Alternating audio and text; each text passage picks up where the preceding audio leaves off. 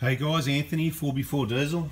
This one is going to have everything I've got for you on compression testing a diesel engine, a little bit different to a petrol, and on the 1KDs and other similar engines with Denso injectors, some things you can use to make it easier and, so, and some information so you can get some really reliable results because there is a number of factors that do fudge the results, okay? You may not have thought about, perhaps I've spent too much time thinking about it, but um, there was a vehicle just recently, um, we're working on trying to help out Craig at the moment to um, get his problems sorted and the mechanic in Tassie probably should have had a setup like one of these and it would have made things really simple. Not that it's needed because you could see the engine idling um, that it's got a cracked piston or something similar. We say that because um, when a 1KD fails, it's usually a cracked piston. If it hasn't got that blocked oil pickup from you know these seats leaking on the injectors and these aren't injectors compression test. But look just wanted to say quite timely. I've been meaning to give you all this information and uh, there was someone that could have done with it a bit sooner unfortunately. So let's be really clear. Any engine if you've got problems with it and you're putting a set of injectors in it you will want to definitely do a compression check first. Now, what else can I tell you? Now, you've got to be careful because the compression test can be wrong. Okay, why is it wrong? Well, a couple of reasons is um, you can get high readings if you've let oil run down into the cylinders, okay? And you can get low readings if you've messed around with um, the EGR, taking the elbow or anything like that off as part of the job, or if you've pulled the injectors out and they've got carbon and stuff on them, some of that may fall down the hole, and this is an injector, we'll get to that in a minute. But these are the sorts of things that can happen. Even if it's clean, there can be a tiny little bit of carbon on the injector nozzle, okay, that falls into the cylinder. Then when you turn the key next, that bit of carbon blows inlet, compression, power, exhaust, out, in and out the valves whatever, and you get a little bit of soot under that exhaust valve and it does lower the compression. So the problem you've got with any compression test on any of these diesel engines with all that dirty soot that's in there, um, you may get the wrong reading. So you can have a reading that makes the engine look really good. Or you, okay, so we've had engines where the, we've used this system and the readings look good, and we've had a system, uh, sorry, and we, what am I trying to say? we've had engines that are good. Let me get this right. We've had engines that are good that tell us they're bad because they've got the soot under the valves. Lucky we knew better. A bit of common sense and experience, luckily, right? And that's why we're here to give you this information because I know that most of you haven't worked on hundreds or thousands of 1KDs. And it's not just 1KDs. This relates to any diesel or, you know, the V8s, whatever you want. They're, you know, same sort of system with injectors and clamp down in the seats and compression tests and all that sort of thing. So keep that in mind, okay? If you've got an engine that you reckon's okay, but you're checking and it says it's down a bit, you kind of want a second opinion, a third opinion. And if you've got one that you know is stuffed and it says it's okay, that's the other thing that can happen as well, right? So first thing you want to do, if you're going to do injectors on a 1KD, for example, we'll talk about that. In my opinion, you want to park the vehicle and switch it off the day before you're going to work on it, okay? Then most of the oil's drained down from around the injectors while it's hot. So a hot, you switch it off hot, not cold, right? You drive it in, bang. So this is what I do. I'll just quickly say, you know, we'll bring it in. We'll give it a pressure wash, clean it up if we need to, because it needs to be a clean environment. I'm going to blow it dry. I'm going to plug in the diagnostic, have a quick look, see what's going on with it, and we're going to take it for a road test to see how it's behaving and what whether it's normal or not, if there's any other symptoms or issues. That's also going to heat it all up and help finish off drying that engine and the oil is going to be nice and hot and thin. We're going to bring it in, park it in our injector bay, dedicated injector bay, and switch it off and that's it. Because then all that thin oil, it drains down overnight and then first thing the next morning we're into it. Then we don't get that oil that's pulled around the injectors running down as soon as we pull in. See there's an O-ring here to stop it going down.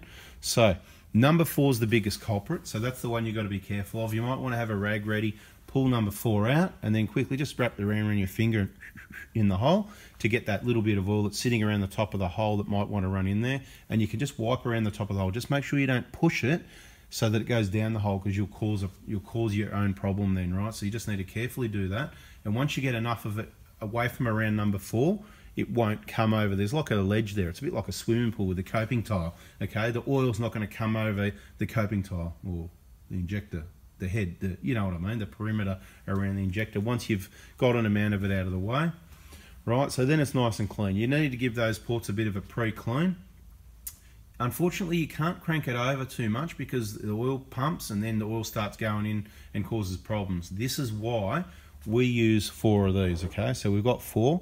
What this is, this is what's called a dummy injector. I had this designed and manufactured years ago now, and they are, funnily enough, look, there's the Kaon sticker there. They're available from kaon.com.au. Um, they're in Queensland, made in Australia.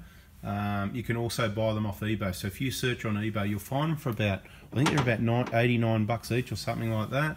Um, it doesn't come with a glow plug adapter in it. You just take your, the normal glow plug adapter, what you'd use, say, you know, in the glow plug hole, and you, you know, Teflon tape or whatever, thread that into there. Obviously, we've got some for other engines that we're doing through the glow plugs or other engines. You know, we've got whole kits there anyway. I'm just this is kind of like 1KD Toyota specific type stuff.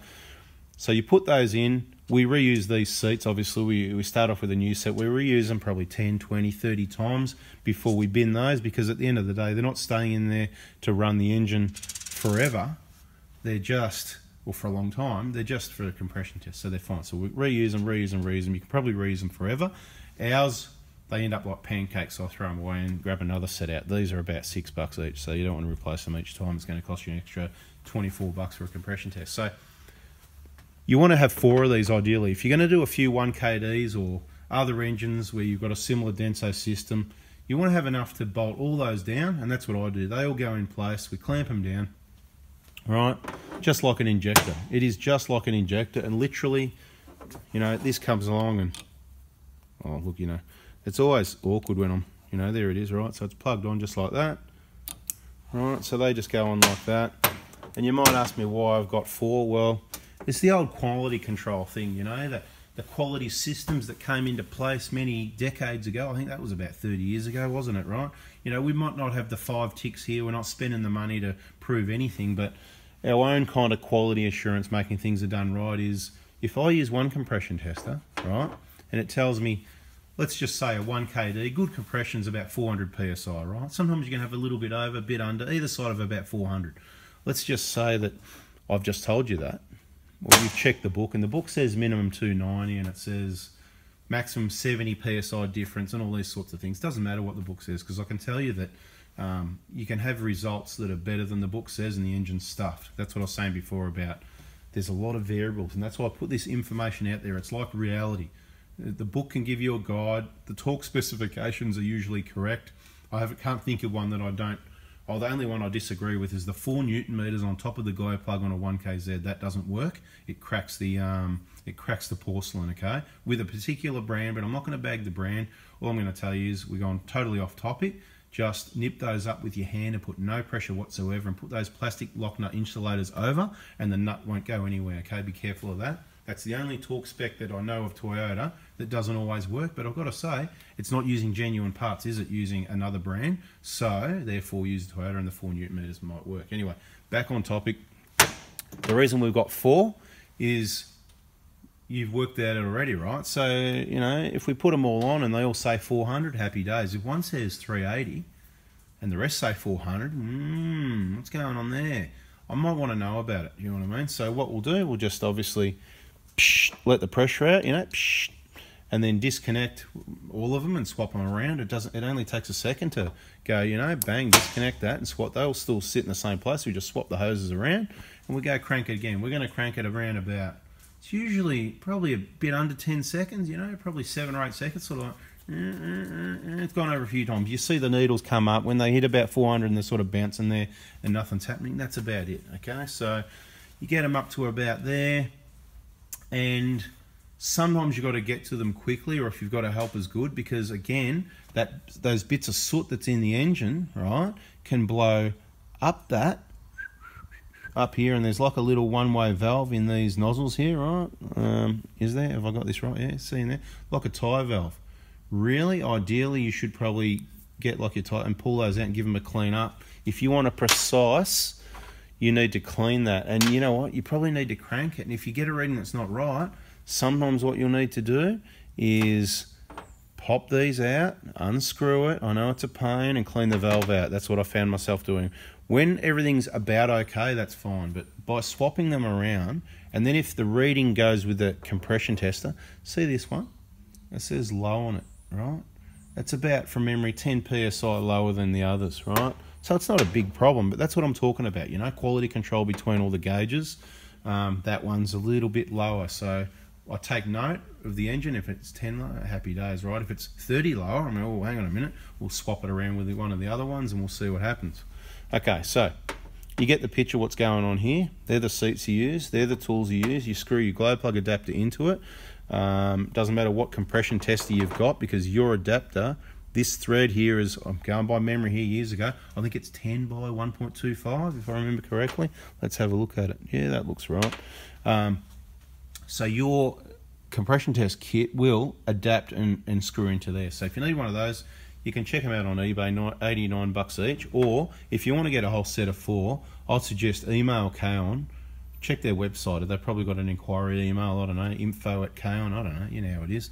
Website, www.kaon.com.au. And just say, hey, I saw Anthony's video on YouTube and he's recommended me. We've got a workshop. If you can give me a trade price on four of those delivered to, give me your postcode and they'll work out a price for you, I'm sure, and help you out. Bada bing. Right, so what else can I tell you?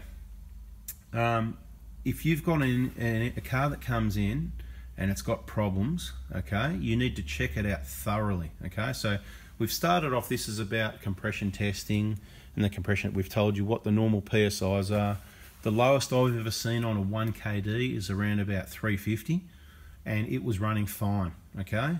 Now, I've seen 370 on another engine, the engine was stuffed, okay? So this is what I'm telling you. If you see 350, look, book says minimum 290. I'd, I'd suggest 290 is going to be, look, we've, we've done a lot of compression tests on 1KDs, and you know what? I haven't seen anything like 293, 23, 30, anything like it. I've seen, don't get me wrong, I've seen zero and I've seen 100 and 150 and 200. That's when the soot gets under the uh, under the valve. You know, it's not here. We haven't got a valve here. The valve's over there in an engine, right? So when you get that bit of valve, but what happens is this is where you've got to have a good battery. So please, guys, make sure you remember the average life of a battery is four years. Don't take your vehicle in to get injectors done with a cactus battery. Make sure you've got a decent battery and it's well charged. Something to think about if you're suspect on a battery while you're doing an injector job you might want to put it on charge because you're going to need a good look it usually takes six seconds if you've primed up the fuel system to get the engine started after replacing the injectors about that. Sometimes you need 10 15 20 seconds or a couple of goes at it. Um, so you need a good battery for that and especially so if you've done a bit of compression testing while doing the job. Um, it's a good test for a battery. If it doesn't make it through the compression test it needs a new battery, okay? Because I've done plenty of them and most batteries make it through the compression test no problem. So something to think about is then put that battery on charge so that when you go to start the vehicle, um, you, are not stuck with a flat battery. You know? And the best way is to charge the battery, not use a jump starter and make the alternator recharge the battery. It's not what it's designed to do. Um, not the best thing for the alternator or the battery. But that's another topic. We'll get to that. Um, what else can I tell you about compression testing? Other engines, you've got to look up uh, their own specification. The best highest I've seen on a 1KD is around about 420 psi, so that's a really good one. Um, if I saw 450, I think I'm saying that's where a bit of oil leaked down number four. That's what I was saying at the start about once you pull number four injector out, that oil that's in around this area, this is the oil cooling area on an injector, and it can leak down and you know once it gets down onto the piston it helps seal the rings you know that's kind of like your that's how you test, you know, compression if you want to work out if it's the valves or the, the rings or whatever the case may be in an engine. But that's another video, guys, compression testing. Um, so, look, so many 1KDs we've seen, and most of them are all, I'll say 370 at the very low end, usually 380, 390, good ones 400, really good ones 410. Either side of the 400 is really good. Don't think if you've got a 370 it's crap or anything like that. Remember the book says you can go as low as 290.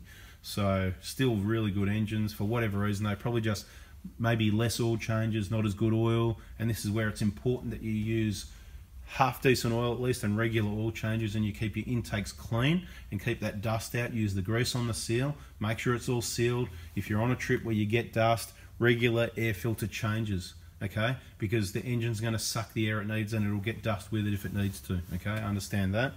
What saves your engine? Your compression side of it is oil, lubrication, okay? Oil, oil, oil, and clean air, okay? And that doesn't mean the exhaust gas recirculation. That's not helping things either, you know? Dirty, dry, abrasive exhaust gases, carbon from exhaust, you know, that black stuff that's in your in your engine. Like, is that any better than dust? Of course not, okay? So I'm not telling you what to do. Seven millimeter, but you know what I mean, okay? So this is compression testing.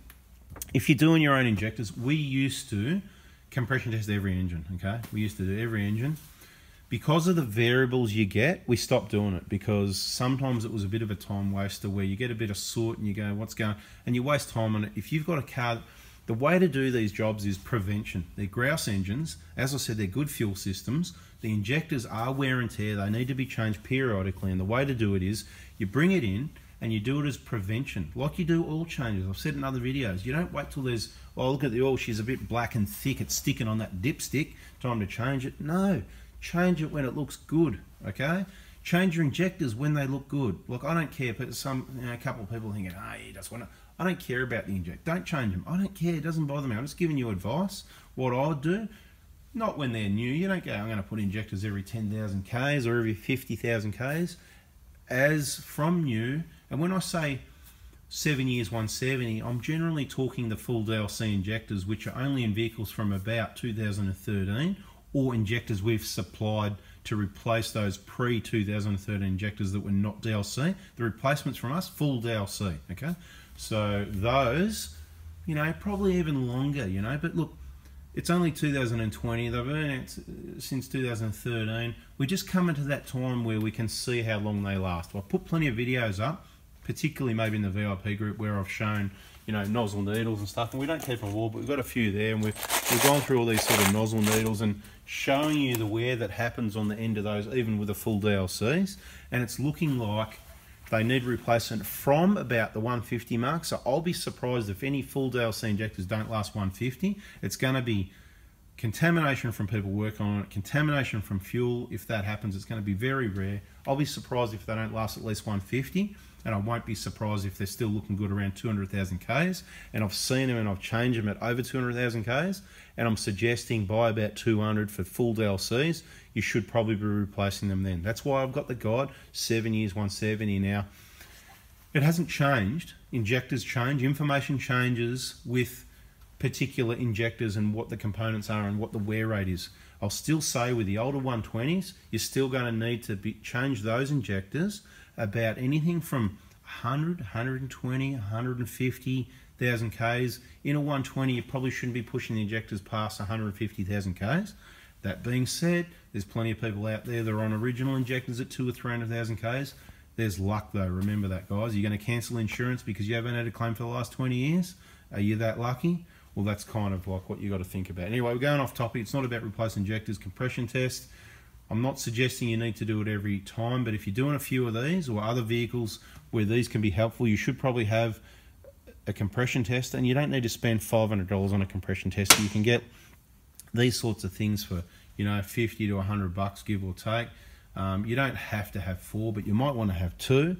You can have all these in there so the oil doesn't leak while you and you could test two of them right? You know, the other two are just going to go and blow the pressure out, whatever. Or they might hold the pressure at the valve, whatever it is, it doesn't matter, right? The point is you've got all four in, so you want four of those in my opinion, or eight on a V8, so that they cover the holes and so that so the oil doesn't leak and start fudging the results, if you know what I mean. Because if you're going to do a test, it may as well be accurate. That's what I'm trying to say. If you're going to do it, it may as well be accurate. If you start pulling everything off, it's just as much work or more to do it through the glow plug ports on a 1KD. And by the time you pull that out and grit falls down the glow plug hole because it's all dirty around there, and you put this in, you're going to get a fudge result as well. You've probably got a better chance to get a cleaner result with these by pulling the injectors out really carefully so that none of the carbon falls off and then just clean that port with a dowel with a rag the way we've explained in other videos and whatever whatever whatever. Anyway that's long enough guys. Hopefully you found that really awesome with all the parts where to get them and that information. So thumbs up on that one please if uh, that gave you some good info. If you haven't already subscribed turn that bell on if you think I've um, you know earned the subscription. You don't want to miss the next bit of information. And let us know in the comments um, if you've got one of these and how long you've had one for because these have been out for years. I think probably, I don't know, I don't know, years. I really don't know. Let us know if you've got one or if you've got four, whatever the case may be, or if you're going to get one. All right, guys, thanks for watching. Catch ya.